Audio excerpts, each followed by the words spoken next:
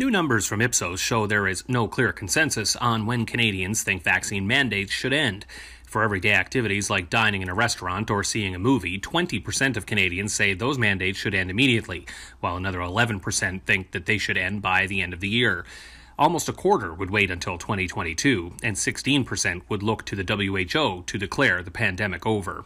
When it comes to traveling, 23% of Canadians would wait to lift mandates until the end of next year, while 20% would wait for the go ahead from the WHO. Another 21% would like to hold off until infection rates are negligible. You can see that the things that people are most comfortable with are the things that they're probably going to be doing more anyway.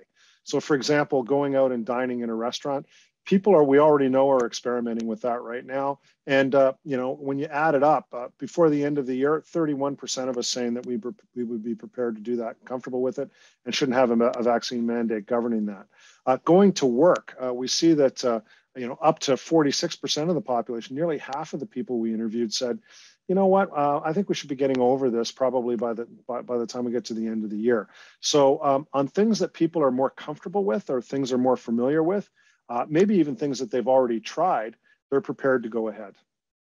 I think it's actually uh, more driven by um, people's familiarity with the activity. So if people could see themselves in a work environment and maybe already have been in a work environment um, uh, to this point, uh, it's it's an easier it's an easier thing for them to uh, to get by.